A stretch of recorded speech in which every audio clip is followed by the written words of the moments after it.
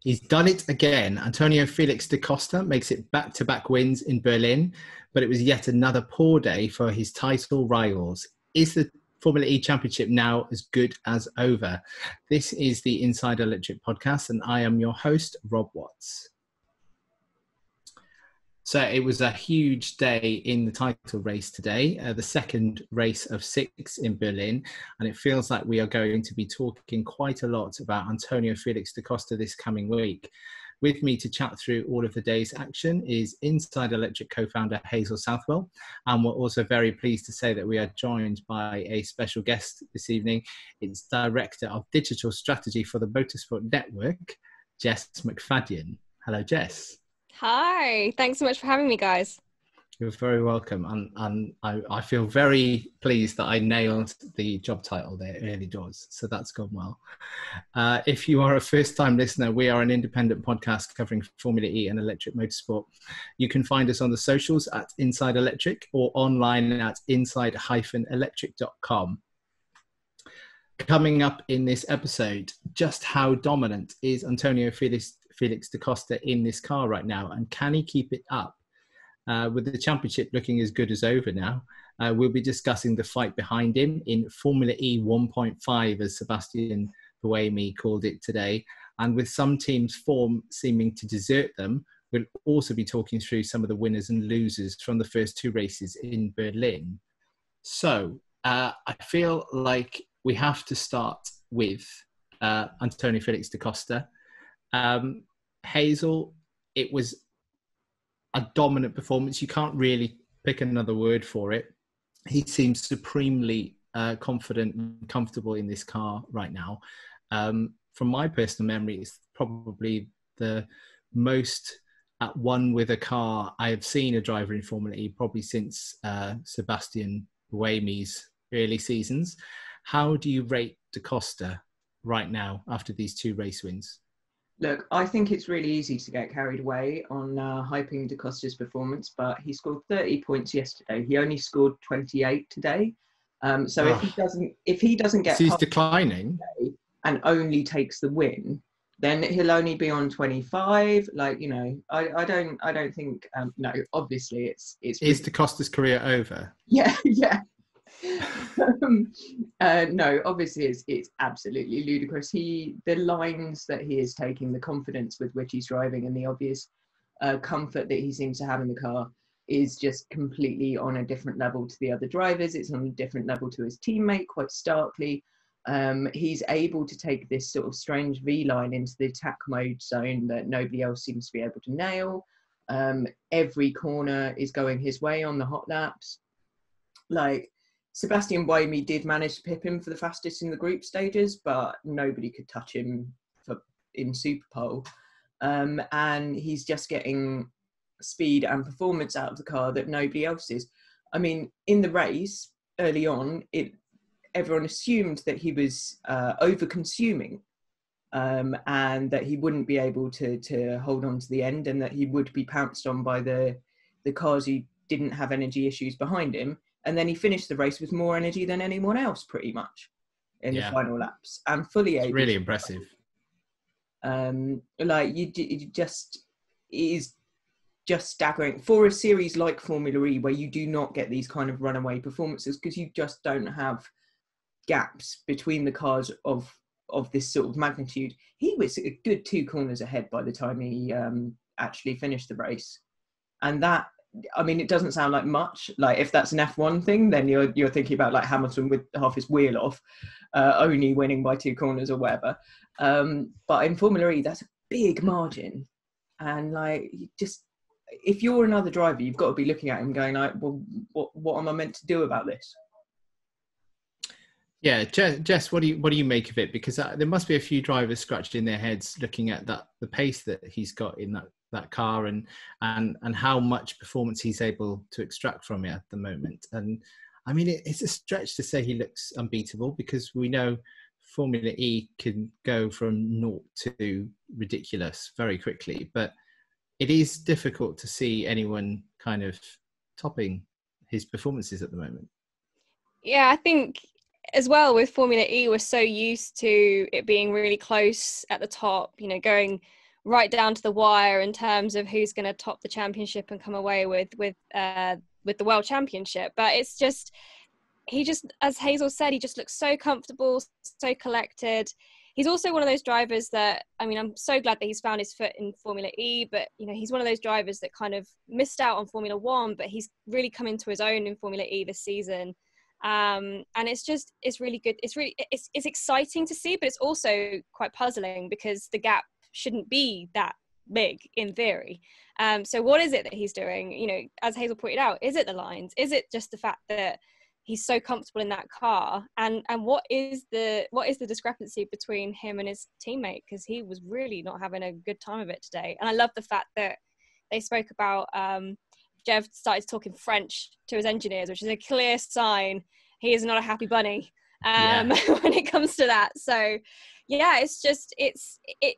On one hand, it's great to see, but we don't want that Formula E point five um, coming into it because it is always a criticism of, of other series like Formula One or MotoGP, where you've got an out and out winner um, before the seasons even come to halfway point. Um, but it's it's it's also fascinating to watch, uh, and I'd love to know like kind of the ins and outs a bit more about what is going on at, at that team.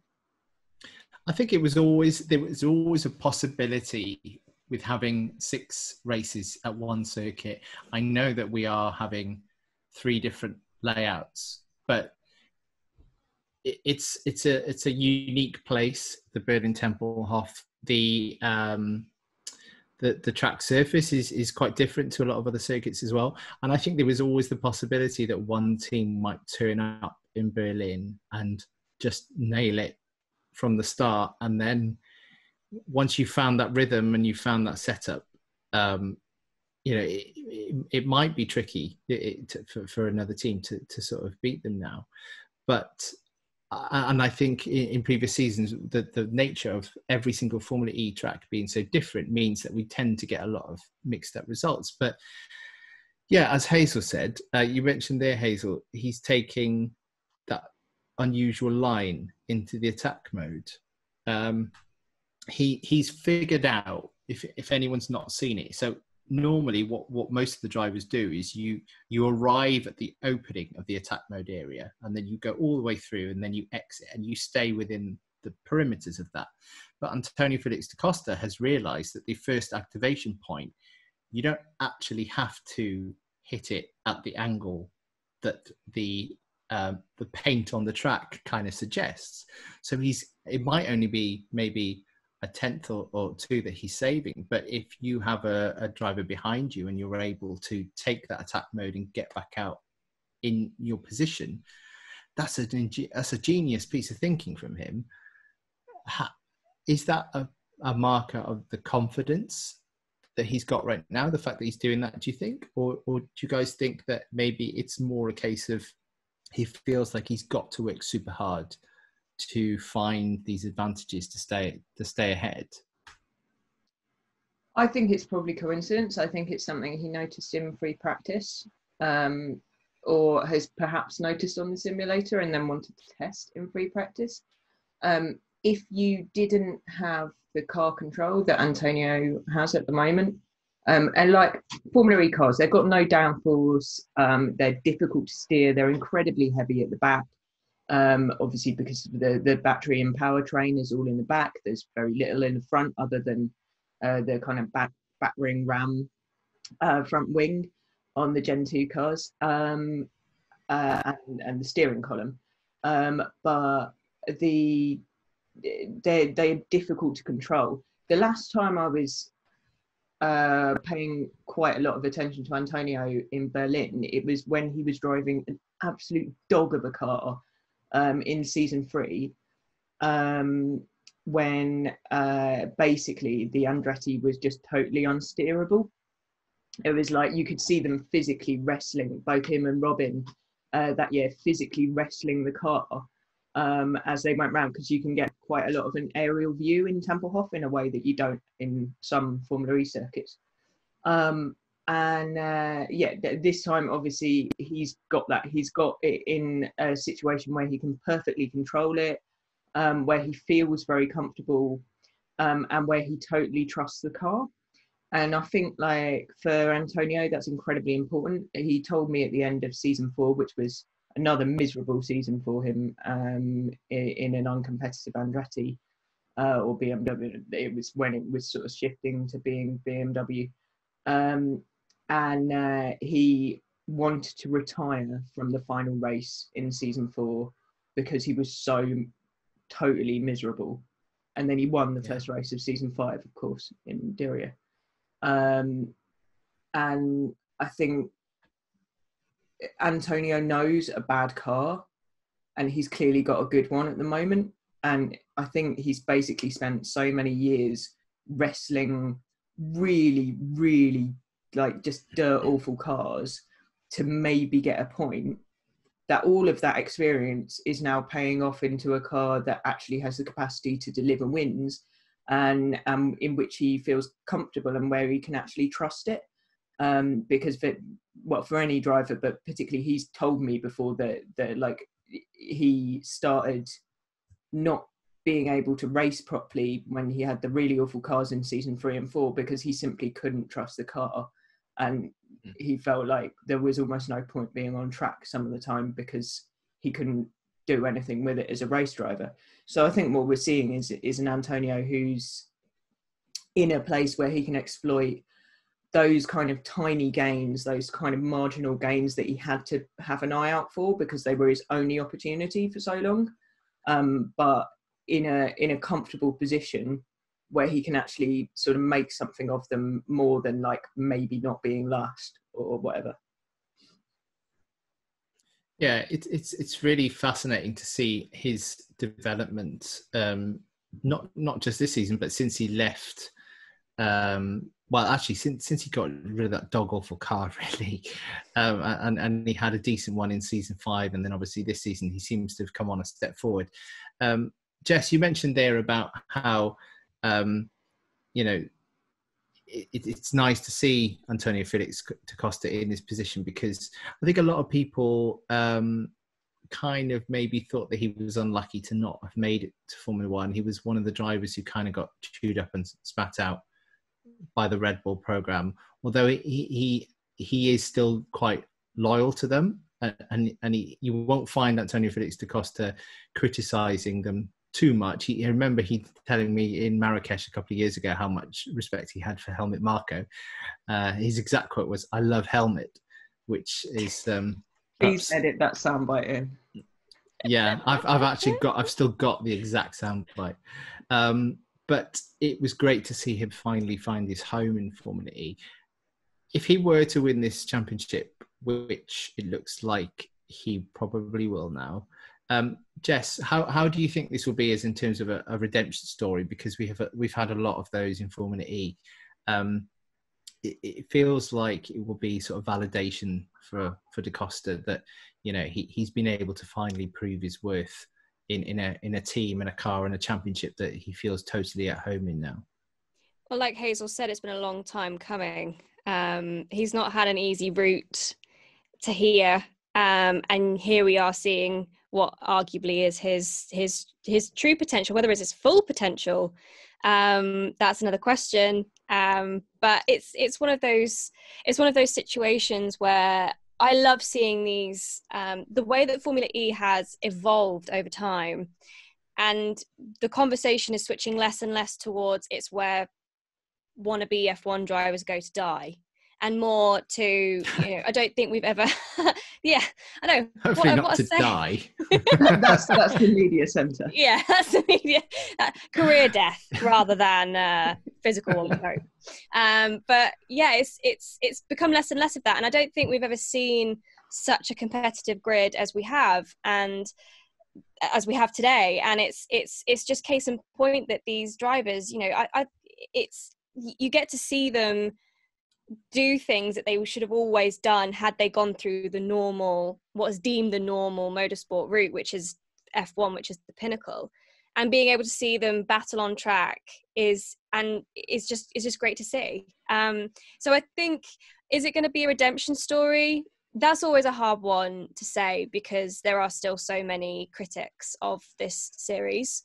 Um, and I guess that depends on who you speak to. But has he come through and had a, you know, I guess Jev is, is, is a similar example of somebody that was absolutely chewed up and spat out uh, of the F1 scene, um, but has had great success with Formula E. And I don't think anyone would doubt or criticize him in terms of his prowess as a racing driver. So it's, I think it, it comes part and parcel with the way that Formula E is moving forward as a series.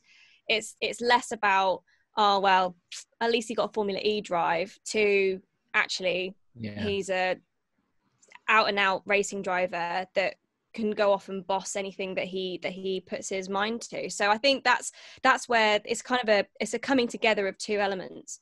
One as a as a racing driver getting the kind of um the credit they deserve and also the series moving forward uh, in terms of its evolution you talk about the ultimate redemption story there um, Jev's career arc. Um, it's quite a funny moment we had recently before the And We Go Green film was released. We were discussing this, and I said um, I hadn't seen And We Go Green. Hazel had, but I hadn't. And I was saying to the guys, "Do you know what? I I, I think one day I reckon they might they they can make a film out of Jev's career because it is the ultimate redemption story. You know." Like so much promise in his early career, a lot of pressure on him it didn't come to be. He, he got spat out of Formula One. He was down. He didn't want to be in Formula E, and then he's risen up, and now he's this glorious champion. And Hayes was like, "Rob, that is, is basically." And we go green. There's literally the plot of And We Go Green. I was like, oh, okay. Well, I haven't seen it. I have now. But um, but yeah, in terms of career arcs, uh, Jev is obviously um, the ultimate redemption story. Antonio Felix da Costa, I think, would be also a fantastic story for Formula E. Um, were he to go on and, and, and complete the job now and win this championship, let's talk a little about a little bit about his teammate uh, Jev Jean-Eric Vergne. He does look a little bit short on confidence at the moment. You mentioned there he was talking French on the radio, which he tends to do when he's not entirely happy about something. He starts having a little rant in French. Um, hasn't been on it today at all. Um, and there was a little bit of uh, needle. It, did you feel like there was a little bit of an atmosphere in the post-race press conference? Hazel, you have your own thoughts on what might be behind that. Yeah, I I think he's um, so Jev's really frustrated with uh, di Grassi yesterday and Mortara today. He was caught in some incidents which you could possibly call robust racing, and you particularly in Formula E, because there is a lot of kind of like argy bargy between the cars, like it's probably gonna fly. But he felt very strongly that both incidents, both incidents. God, it's hard to talk after two days of racing, isn't it? Um, there, there's only another yeah seven or whatever it is to go. I just don't um, want to have to say Techeetah again, so we'll move on quickly. yeah, if if somebody else could win, so that we can. Oh, God, if he wins them all, I'm I'm I'm not doing these podcasts. um, so it's just going to. I just call them DS. Yeah. it's just. Um, but yeah, uh, he felt um, that the incident should have been investigated by the stewards um, he felt that di Grassi should have been penalised the previous day and that Mortara put him in the wall um, uh, this race and so should also have uh, at least faced an investigation. I think so. There's some history for this within Techeetah, um, but it was back when Pedro de la Rosa was there as the team sporting director or something. Yeah, yeah. Um, uh, some sort of role, um, I think, in essentially driver placa- placation. Um, and yes, he did uh, have a big role in that. Yeah, he did. Um, so uh, you remember when uh, Sam Bird hit Andre Lotterer in an overtake for the lead of the Hong Kong E-Prix and then was penalised out of the win? Yes. Um, yeah. So Techeetah issued a protest against Sam Bird's initial penalisation to push for a harsher penalisation, um, which was ultimately rejected. Um, it's kind of a load of silly waste of money to do these things, um, but it is the kind of thing that if you're a driver and you're kind of having a a really bad time and you want to feel that the team supports you, then they might be like, all right, we're going to chuck 4,000 euros at the FIA to be like, can we do this? Um, Jev yeah. felt, I think, that the team were not supporting him sufficiently in pursuing both of these, being uh, looked at by the stewards, or at least he wanted more attention about it, um, or just that he was pissed off um, to that extent. Obviously, the other side of the garage is celebrating and there is no other side of the garage with Formula E. You know, you are you. there's, there's not really anything in between, um, and it's the same crew and it's the same 20 people for both cars basically. Um, you'll you'll each have your own engineers to some extent, but but pretty much everything is shared. Um, so yeah, I think I think an attention deficit to to Jev's woes, um, perhaps, but I don't think actually beef with each other. So they did they did have this slightly weird atmosphere in the press conference, but I think it was because they were late because Jev was trying to get them to lodge stuff with the stewards basically, um, and Antonio was because he as he walked into the press conference he was like, "How late do we have to stay here?" Basically, because he was obviously like, "I want to go," like, um, uh, but yeah, um, I think tired and emotional um, but but not necessarily. We've all that, been there, you know. Yeah.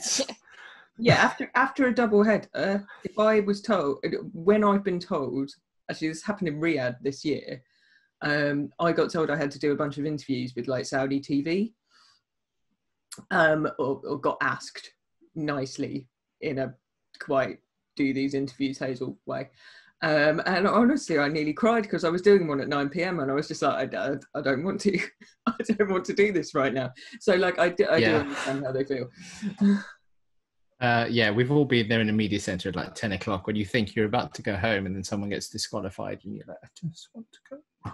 I do want to go home so yeah, we can totally understand that. Um, but Jev, yeah, he he doesn't look like he's entirely comfortable with the car at the moment. I nearly said this weekend, as I did many times last last night, this this week, this weekday. Um, but if anyone can turn that around, um, you know, he can. And what's the next circuit? There is it traditional one next? Yeah. And then it's the funky one. The Wiggly Boy. Yeah. Wiggly boy, I love that. Yeah, it is quite wiggly, isn't it? Um, I hope it's, it's not going like to be the Berlin Mouse. Tempelhof circuit, but like in SpongeBob meme, you know, like. um, so I worked this out earlier. Forgive me if I'm wrong, but I think based on my tremendously reliable maths, um, Antonio Felix da Costa has a 68 point lead, which is ridiculous. Um, and he's got, I think, four times as many points as Jev now. So I think we can say that Jev's not going to get a third title this year. Um, and he is still mathematically in the running. Only seven drivers are now out. Well, Rast and Sette Camara are out, which is disappointing. Uh, um, Massa, Jani, uh, Turvey, Müller, and Lynn are all out. Um, I'm sad for Turvey. Um, Massa and Jani, I kind of saw that one on the cards. I, thought their championship hopes were fading, but I am sad for Turvey.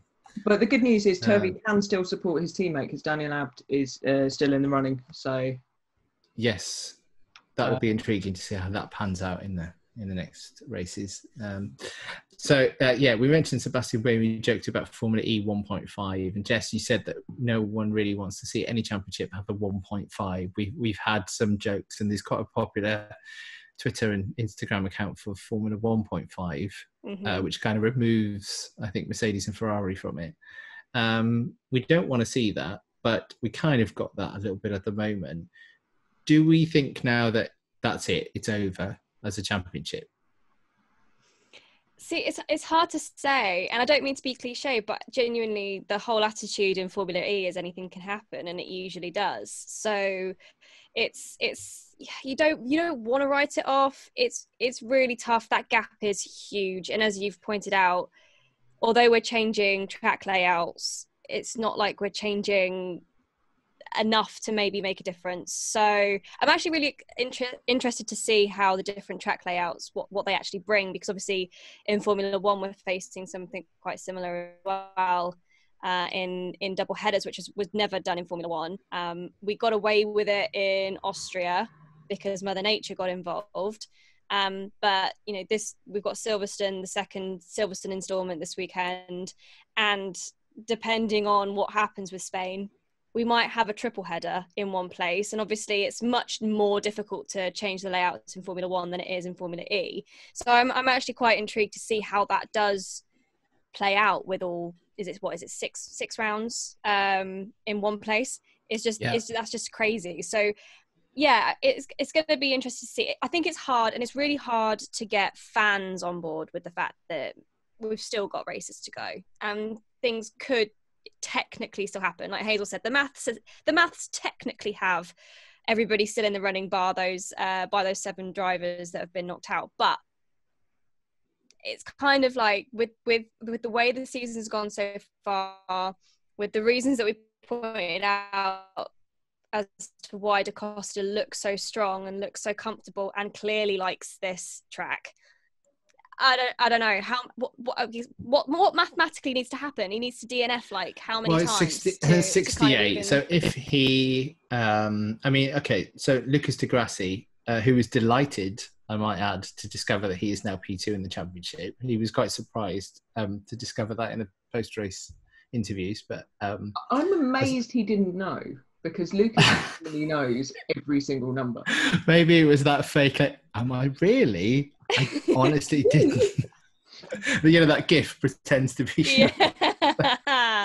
yeah. This is um, brand um, new information. Like yeah. Kind of so thing. he probably knew the maths before the race, but I mean, sixty-eight points. So if if Antonio had two DNFs and Lucas had a clean sweep of group stage pole, fastest lap, and win, that would hit Antonio would still be eight points clear. so but there'd still be another two races. And like I think the thing yes. that you have to remember is that um, the last time somebody had a really big lead, it wasn't this big, but um, the last time somebody had a really big lead going into the last four races was Sebastian Buemi in season three. And mm. um, he didn't. He did have a holiday though.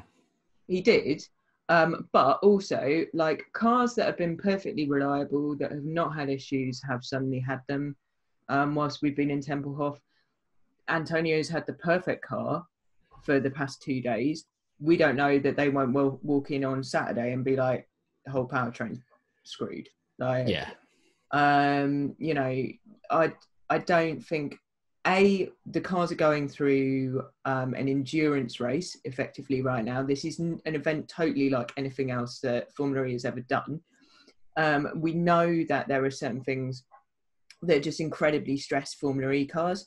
Uh, yesterday was a little bit cooler but today was quite a lot hotter during the race apparently which might account for a little bit of, of sort of how the cars shook out relatively. Um, we know the porsche has thermal management issues so that's probably why it was kind of like a lot further back um, and uh, yeah, you don't you don't know that his inverter won't blow in FP1. At which point you've got a 20 place grid penalty, and you're fighting back from who knows where um, with a drive through, probably. Um, so I, th- I think one of the things that's making it look like it's it's it's it's maybe making him appear more dominant than perhaps he is is the fact that no one else seems to want to win it like none of his title contenders going into these Berlin races have really done anything. No, I mean like Evans, who has been so on it all season. This looked like Evans' season, and when I spoke to him in the in the break, and when I spoke to his team principal in the break, and to be honest, when I spoke to his teammate in the break, they all, I mean, he he was sort of like nervous and excited for it. Yeah. Um, not kind of confident. But I have to say, like his his teammate and his team principal were both kind of like, we need to get the season restarted. Or the team principal in particular, James Barclay, was like, we need to get this season restarted because Mitch is going to win it. Um, and like that, uh, to see that turn into two pointless finishes. Like, I mean, it's not inconceivable that he comes back and he's sorted.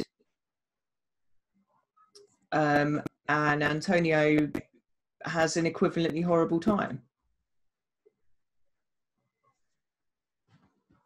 Oh, I was muted then temporarily. Sorry. Right. Um, the That's thing, so the thing, 2020. Yeah, it is, isn't it? like, oops, you're muted.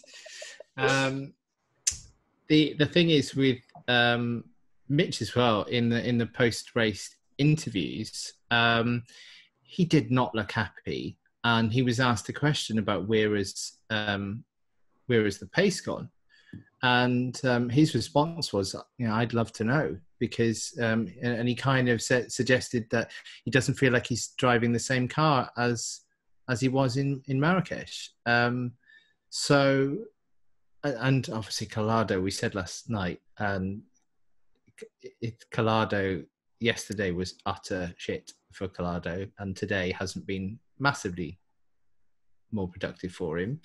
I reckon I would Not have to say that he is utter line. shit, but I, I reckon.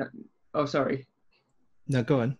I reckon I would have come off the start line if I was uh, Calado today and just continued driving home. There's Yeah. got to be there's got to be a couple of fast charging points. Um, Just get on the autobahn and Yeah, yeah, just sack it all just off. park it and like just just go away. Um, yeah, I mean, you know, Calado's not.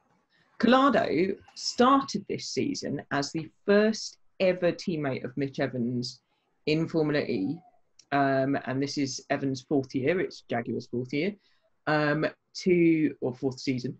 Um, Calado in Riyadh outscored uh, Mitch over two races um, which is the first time that that has ever happened. Um, Bad. yeah, um, and, and like Mitch is so dominant within Jaguar. Like last year, he scored all but eleven points, so they got 116 points and 106 or something. Uh, that's probably the wrong numbers, but it was it was all but 11 points, and he scored over 100 compared to Well, Mitch has Uh, scored 70, uh, before Berlin, he'd scored 78% of Jaguar's total points in Formula E. well, he still scored that because they haven't Yeah. scored any points. There you go. you're, the, I- I've said this before, you're, you're, the, you're the stats person, Hazel. Uh, as well as Jaguar seemingly not having a brilliant time, um, excuse me, uh, BMW, uh, their pace seems to have dropped off quite significantly since we've come back. Um, it looked like it was going to be a really promising season for them. Uh, Simsy got a win. He got a couple of poles. Gunther got a win. It looked like they were going to emerge as Techeetah's main rival uh, in the team's championship, but I don't know. It, it, it just really has faded quite badly for them um, uh, since since since the break. Um, any thoughts on what's happening there? Because it's a weird one, isn't it? How much a team can come back and and and be so far off the pace that they were at points earlier in the season. Um, I'd actually be kind of interested in what Jess thinks about this, partly because you're you're mostly an F1 person, or like you you have focused a lot on F1, and BMW basically don't exist in F1 or haven't for ages, like since Sauber or whatever. Um, 2009, I think. yeah, like, and then they've kind of sort of disappeared, and and they they were in DTM, which I realise lots of people watch, but uh, I'm just gonna say it, it sucks. Um, and I I will watch any flipping tin top racing, and I'm sorry, I will not debase myself with the DTM. Um, uh, but um, yeah, they've been in DTM, they've been in WEC, they've been in IMSA, which is great, and they they've had a lot of success in IMSA, uh, in GT cars, um, and and then they sort of wandered into Formula E post Dieselgate. Um, as with a lot of other German manufacturers, um, they had been sort of circling it for a little while because they were actually why Antonio uh, stayed in Formula E because they sent him to Formula E to Aguri, um, now Techeetah. um, uh, and they were like, go and test this car, and he'd been testing Sebastian uh, Vettel's um, championship winning 2014 Red Bull car for the tyre test in Abu Dhabi or whatever at the end of season test. Um, and then stepped into a Formula E car and was like, Jesus Christ, like my career is just like this is dropping like a stone. Um, and and BMW were like, no, stick with it. We want to know more about this. Like, we believe in you, and we're going to give you a DTM seat, but like, stick with this because we we think there might be something interesting.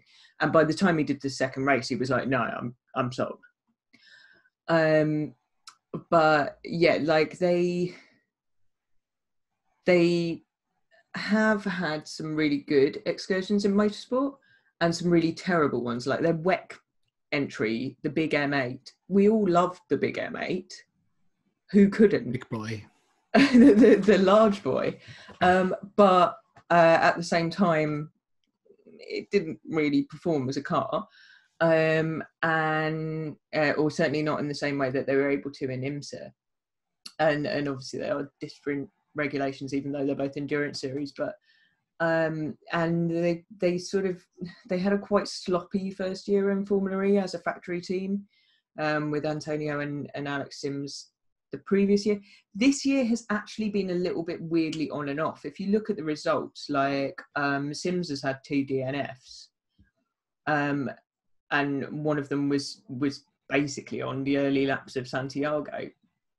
They've had quite inconsistent pace, um, and as with quite a lot of the teams, like you quite often see.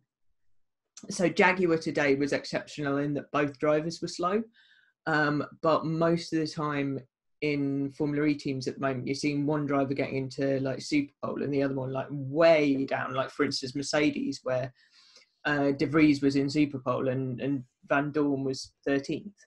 Um, and and like a few much bigger gaps depending on sort of like different teams. But um yeah they they have had quite a sloppy year. And the two drivers are sort of like they're both quite experienced. We both everyone in formula e knows they're fast but they're sort of i think everyone was surprised to see how far up the order both of them were um, and there's it has been it hasn't been as straightforward a year as the only team that both drivers took a win sounds. I, I think you were gearing up to ask Jess a question there. I, I was, and then but, I did. But, yes. But, yeah. So we'll, we'll, bring Jess in. Um, anything that you would like to add on BMW, uh, Jess? Yeah, they, as Hazel said, they're they're just quite a weird beast. Um, it's it is it is tough because I think it's obviously been amazing at how many manufacturers have committed to Formula E. Eh, that it, it was a big, big, bold statement from a lot of manufacturers, but it's not just a marketing exercise. It's a racing championship, and to be competitive, you have to give certain levels of commitment and certain levels of uh, investment to the point where you know you might have pain years. You know, you, nobody expects i mean maybe you would expect a mercedes to walk in and go yep nailed this and off they go um, based on uh, their kind of the current prowess across motorsports. But i hear they're doing quite well in f1 oh yeah. Mm, nobody talks about it ever so we just don't know really. But um no it's it's it's it's interesting it's quite um it is just it's just interesting to see which manufacturers have turned up with a with a decent product and with a decent strategy and with a decent program and have gone racing and which have maybe seen this as a bit of like oh toe in the water because i've been mm. told that this is good for you know our business and uh, this is the future of motorsport so you know we need to be here and we'll wind down our other projects because that's what we've seen a lot is that that manufacturers are starting to wind down other projects especially when there's like heavy combustion and no move towards at least hybrid technologies. Um it's where else do you go? You know like and and the the the, the economic situations have meant that a lot of series haven't been able to make that push into either fully electric or hybrid uh, technologies. So where else do you go? You go you you go to Formula E where it's already been set up and people have gone before you and you can either buy out teams that have already got the infrastructure and just whack your logos on it or you you come and with a fully invested factory team and it's it is one of those cases of like you know have have have BMW got all their ducks in a row in order to have that consistent level of of competitiveness that we've seen maybe in other teams. Um, you know, we've seen the likes of Toto Wolff has attended, and obviously he has um, he has slight invested interests, pun intended. But um, yeah, he, he's he's been there and he's he's he's interested in it, and obviously his his wife is a is a team principal, so yeah, but I think it's that cohesiveness that is the difference between a team that wins and a team that can win and can attract brilliant drivers you know convincing a driver to stay in a series where they think there's no future here that's a that's a big that's a big thing to do. That's a, and obviously you know you can throw money at them but money will only take you a certain level. So it's i don't i don't personally know enough about the bmw formula e team to be able to come up with a conclusion but it is i guess you know when we're comparing them against the manufacturers that have walked in to this season are they where you would expect um, BMW to be, given the fact that they've they've been looking and sniffing around this for for a long time.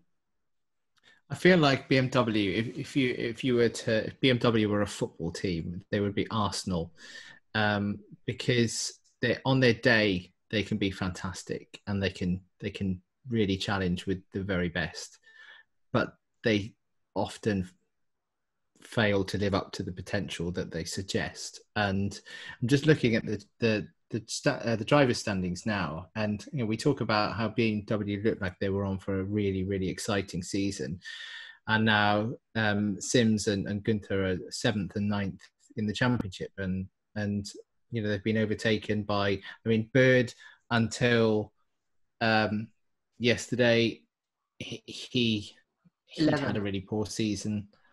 Uh, Buemi has had a bit of a meh season. Um, and then sort of Stoffel Vandoorne has had a bit of a dip and, and he's come back and, and, and Lucas di Grassi has kind of been sort of quietly chipping away scoring points but not you know he hasn't won a race so it's very open but it's just it's interesting that BMW have now sort of been shuffled down the pack quite a bit uh, when I, I really thought they were a dark horse possibly to even you know maybe one of their drivers could have could have won the whole thing the whole thing at some point, but doesn't appear that's likely now. Um, let's move on then, because we are running a little bit short on time. Um, a few things I wanted to talk about. Um, so, a few teams that have had a reasonably decent um, return. Um, Audi, a bit mixed, um, but they bounced back really well today. Uh, and as we mentioned, Lucas di Grassi has now moved up to second in the championship, which uh, he will be rather pleased with. Um, Virgin have um, ha- have have had a really good day today. Double points, which I think is the first double points for Virgin since the opening race in Diriyah. Wow. Mm uh, which is mental. Yeah, uh, Frijns hadn't scored points for ages. Frijns has had a shocker this season. He's been out qualified until today. He's been out qualified six out of six, which I think he's the only driver on the grid um, to to have that record. And he's he's been quite poor. He's gotten a lot of little tangles this season. He generally, even in, in terms of racing laps, I think Sam more often, maybe two thirds of the time or more, has been the lead Virgin driver in races. Um, but today, um, good qualifying for Frijns, and he had a really good battle with di Grassi and Dorn in the race. Bagged a big hoard of points, and, and it was a good day all round for Virgin today, actually. Um, thoughts on Sam Bird? Um, we can never really count him out. Uh, he always pulls something out of the bag. Mm-hmm. He'll want to leave that team on a high, won't he? Um, is he going to just absolutely chuck everything at it now to try and get a win? because he he probably doesn't care if he can't win the championship. He doesn't give a shit if he finishes second or third or fourth. I don't think he'll want to just go for a win. I think. Do you think? What do you I think he, I think he wants a new third place championship uh, or a, a new trophy to replace the one that was lost. Oh, well, he lost one, didn't he? Yeah.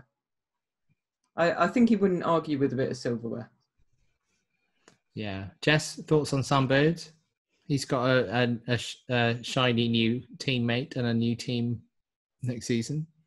Yeah, I mean, you always kind of want to leave a on a good on a good note. You don't really want to leave on a downer and have anybody that would be there to criticize you criticize you. Uh, and he does seem to be kind of comes out of nowhere and just kind of puts it puts it together. So you know, never say never say never. Maybe, may uh, it's it's amazing what um, psychological kind of situations do to a driver and i think we've got this is the this is peak psychological challenge right we've got as we've as we've already spoken about on the show a, a crazy season crammed in at the end where you don't get a chance to breathe and go away and reflect on your performance and come back uh, stronger.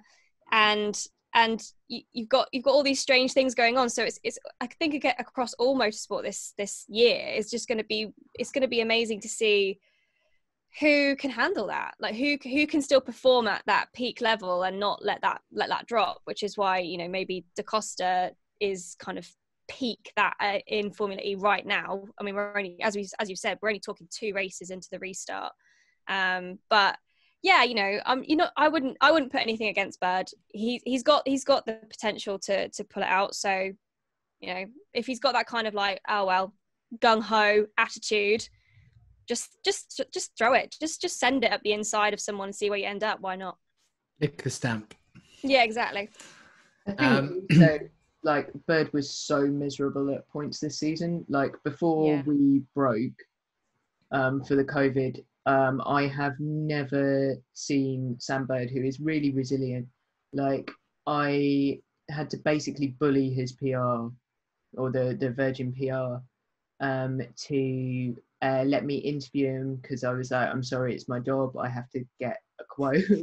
it's media pen. This is what happens. Um, whilst he was like, um, he, um, uh, whilst he was like crouching down on the floor with his head in his hands in Mexico because he'd, he'd lost a, a clearly potential podium. Um, and like it looked like the season was falling apart in the same way that season five had um, after what had looked like a good situation to not being anywhere near title contention by the final races. And I think like if we weren't talking about the fact that we will know in a few days' time who is the Formula E champion, if we were leaving this race and there was a four week gap till the next one, as you might well expect with a Formula E race, then I think you know, we'd be like, well, Sam Bird's on a flipping big recovery, isn't he? Like, like he's gone from 11th two days ago to like well in contention now. Um, and leapfrog. Well, it's only five points off second in the championship now. Yeah, exactly. Yeah. Like that's that's a flipping big for for a guy who had only scored uh, 27 points total to now be troubling the silverware is like that's it's not bad. Uh, one more thing, I, I, I want to move on in a second to get a couple of predictions from you, but I just want to give a shout out to Mercedes today, who, uh, in, in in very different ways, provided um, some pretty solid entertainment. So Vandoorne, um, arguably one of the drives of the day, uh, P13 to P5, and he was getting very racy, um, and he pulled one move around the outside. I think he might have had attack mode, but he pulled one move around the outside. Was it Bird and di Grassi? In Yeah. my race notes, I wrote, "Wow." yeah, I Yeah, think on the commentary it was like, no, no, stuff. That's not going to happen. That's not. Oh, oh no, it did. It did. He pulled that off. That has happened. It was genuinely like, nah, this is going to end in tears. Oh, didn't Jack Jack say, Nicholson was "Please, "No, please don't Stoffel, do don't it"? do it. That was it. Yeah. It- oh, he's done it.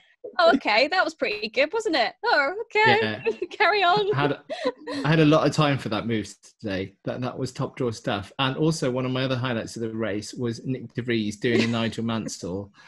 Um, was it in, in Dallas or something when he pushed his car and he fainted? Not like obviously De Mm. Vries didn't faint, but it would have been funny if he'd done a little fake faint. But him, the sight of him out of the car, which I, I doubt Scott Elkins would have been massively happy about.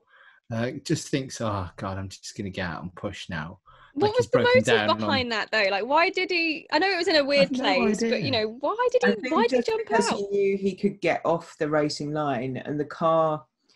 Um, so if you know you can safely get out of the car and your car can be put away, I suspect he was basically like because we know that the Mercedes team have sent the pair of them there for Stoffel to win the championship. That's why he was unavailable to step into uh, Checo's car in F1, even Yeah. though he's the reserve. Um, because they were basically like, you go, you win Formula E. Um, so I think De Vries was probably just like, I better not hold up my teammate with my bullshit. Ultimate team player. Hmm. Uh, He, I, he I- was getting really racy today as well. Was was Nick? He was Yeah, with proper, he like was. lockups all over the place. I was like, calm down. You, you, you'll get it. Calm down. He, he did get his elbows out a couple of times, and I think there's a couple of drivers who might have a word with Nick De Vries. Um, I mean, I, I, I think he's been quite exciting these last two races, but there's been a couple of moments where he's he's really got quite punchy with uh, defending his position. Um, it's a shame he hasn't. He didn't. I, I thought he he could have maybe got a podium today, um, but um, yeah, Mercedes have actually looked fairly promising on pace actually since they've come back. So I think it's not out of the question that we we, we might see a big result coming um, from them. Uh, so before we wrap up, I just want to get some predictions for you for the remaining races. Now I know. I mean, it's a bit boring for me to say who's going to win the title because I mean, I mean, you can if you want, if you really want to have a stab at that. um, who do you think is going to win? Go on, have a long shot guess. Who do you think? Just pick a name out. I don't know. Uh, I don't know. I'd lo- I would love to say, I don't know. I would love. Uh, well, no, because I wouldn't wish. I- want Antonio to win because it, it is the mm. perfect end to the story of shit to hit. Like it, it's great, and we need another one of those stories because I think that will just then prove the worth of Formula E. Um, so Shit to hit. That's going to be the, the title of his. Uh, I, I, I'm I'm going to make a new feature on Inside Electric of like instead of like you know like hot or not in like Smash It. Shit to hit. Shit to hit. Uh, Well, if that's my legacy on Inside Electric, I'll uh, I'll uh, I'll have it. I'll take that. I'll let you have that one for free, guys. Um, I don't usually come up with many of these, so you're there all you go. I like that. I think we can work with that. Um, okay, let, let's have a wild prediction then. What? Um, give me a dark horse driver to get a big result in uh, the final four races. I d- based on what if if Vandoorne can actually have a decent qualifying, I think I think he's because that seems to be his Achilles heel right now, right? Like like we just said, like Nick Yeah. got into Super Pole and Vandoorne was way down in 13th. Like why? What? Sort it out, mate. Um, so I think I'd I'd quite like to see him get get a decent result over the next few races, but whether that happens, I don't know. Um, but I think like he's I- I- again, I, I don't know whether it is kind of like the Formula One fan in me that I'm just like I want to see these Formula One dropouts. That sounds cruel because it's not a dropout because they're It does doing sound well. cool. It does sound cruel, but these like Formula One exiles, like I, I would say that they've. Let's say they're Formula One graduates. They've graduated Formula One. well, did did Stoffel? I don't know. If he, he kind of was to be been, kind. been there, got paired with Alonso, got absolutely shadowed, and because I mean that's the thing. Like that, that, and what we were talking about earlier about Formula E as an evolutionary series and and and and evolving in terms of like we've got Nick, we've got a Formula Two champion in the series. That's a big statement, and a bit, another big statement from a Yeah. manufacturer saying, you know, despite the fact that we don't have any space for you in Formula One, like we are gonna give you at least a decent seat in Formula E, and that's that's a that's a big statement. And we and- don't like you as much as George Russell. mm, well, no, sorry, we've- we don't, yeah. we don't appreciate that here. No, or you know, we've we've already promised George Russell too much that we've not been able to deliver on yet. So we can't promise you the same thing because Well, that talk about- I don't even like Wild- you as much as Valtteri. yeah. yeah. Don't get me Oh, started on Bottas. yeah, uh, that's a whole other conversation for a whole different podcast. But um, yeah, yeah, exactly, exactly. But you know, it's it's those kinds of it's those kinds of stories that we need more of to prove that Formula E isn't a dumping ground. It's it's where you actually get to shine and get to show your true potential because. Stoff had a really shit time of it in Formula One, and he was you know ripped to shreds. His career was absolutely ripped to shreds. He got made to look like a fool, and yet here he is having a flippin' flippin' stellar drive from 13th uh, all the way up to, to P5. It's just it's just insane. Like that's that's that's we want more of that. We want more of those stories so that we can tell and show people like this is this is this is what Formula E is all about. Um, Talking about mad predictions, we, we did accidentally start a rumor in a couple of episodes ago that um, about um, Sebastian Vettel going to Dragon, uh, which is which we had to clarify that Oh, it's very unlikely. I to thought you were talking about the rumor that um, both Vettel and Leclerc are going to be replaced by the two drivers who have departed Formula E uh, mid-season, Hartley and Wehrlein, who are both the reserves at Ferrari. Yeah, well, there you Yeah. go. Hartley, uh, Wehrlein, Ferrari lineup incoming. Uh, Third silver right, we are. that's there. Yeah, yeah. I Uh, they're all going to get uh, COVID anyway at the rate that F1's going. So maybe that would be maybe that will be likely, more likely than you'd. Expect. Well, I think I think Hulk is now official reserve driver for all teams. Yeah. So he's just he's just desperate for that podium, that you know that elusive podium. I mean, it is it is probably one of the. I don't know if I've ever heard of a driver with worse luck than than Nico Hulkenberg, but you know he can't be a reserve driver for everybody. Um, the the beloved beard king of Formula E. True, true. Oh, I miss Nick.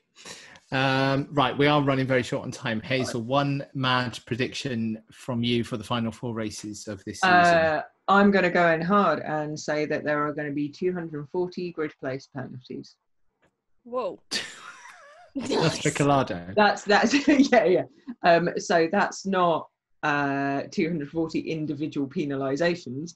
Um, I mean um, that there will be at least 240 uh, grid places that um, are issued. So at Formula E, like Formula One, if you replace parts that you're not allowed to replace, which is any of them, um, you are only allowed to have one set of everything per season um, and you're meant to be efficient with it. If you replace a bit, the inverter, the battery, the entire fl- flipping powertrain, like whatever, uh, then you face uh, grid place penalties. Um, it's 20 automatically. It's not as soft as the Formula One system. Um, and if you cannot move back all the all of those places, then up to 10 places, uh, you get five second penalty and if it's over 11 places uh or sorry 10 places and under it's it's a five second penalty 11 places and over um it's a 10 second stop and go so it is really it is intended to hurt you and to to discourage replacement of parts because the idea is that you're not chucking stuff out you're not being wasteful um and to keep costs low and like whatever um we we've already seen a lot. Um, I I reckon we're going to see a lot more because um, you know these batteries are going to suffer. Um, the teams are tired, um, and you know it's only one day off for the only twenty people who work in the garage on Mm. both cars. Um, with very very long days, um, and we we're going to see stuff happen. So yeah, 240 uh, grid place penalties for I don't know, just stuff. Okay, look forward to, to that madness. And then Oliver Turvey um, Winning. Going straight through the middle of everyone and their grid penalties and winning. Um, I think we can all get on board with that. Um, okay, so I think that's about it for this one. Um, we are, well, we have run over really a little bit, but it's okay. Um, uh, my thanks to Jess. Um, thank you very much for coming on. Um, and I made a really weird comment last night about um, I asked you um, how was your first time, and I'm going to rephrase that.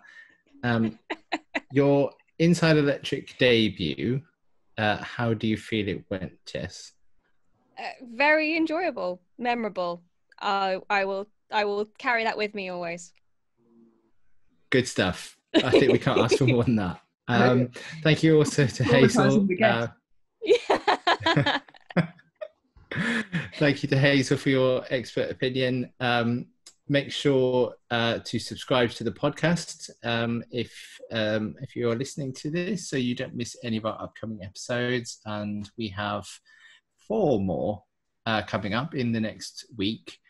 Um, one on the evening of each race. Hazel, what were you going to say? Uh, also, if you happen to be uh, watching this on YouTube, which um, we uploaded the last one to YouTube, and quite a lot of people did, um, please subscribe to our YouTube um, so that you get all our great content and weird stuff that we've got on there and stuff that I spend uh, ages editing and then no one looks at. So it validates. But do Hazel a favour and subscribe on YouTube as well.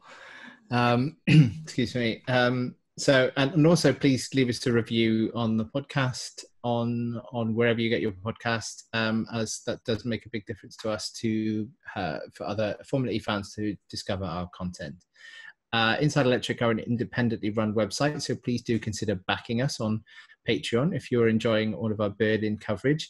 And in return, you will get some exclusive benefits, including additional bonus content. Uh, we do a monthly Ask Us Anything video as well, and we've we've spoken about a really wide mix of topics in that. Um, you get early access to each um, podcast episode, uh, including the ones where I'm up super late. So last night I was up till one o'clock editing this uh, podcast, and I still managed to give everyone early access. So there you go.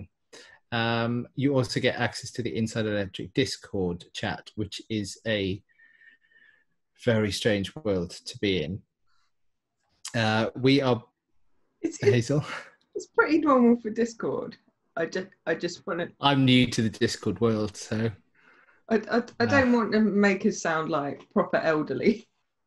No, no, that's just me.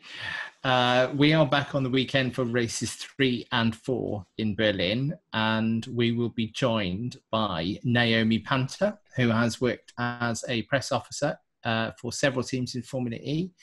And we will also be joined by uh, award winning Formula E photographer Lou Johnson. And Lou is actually in Berlin at the moment, and she is going to be joining us from her hotel room somewhere in Berlin, which is fantastic. Um, I've been your host, Rob Watts. This has been the Inside Electric podcast, and we will catch you again very, very soon.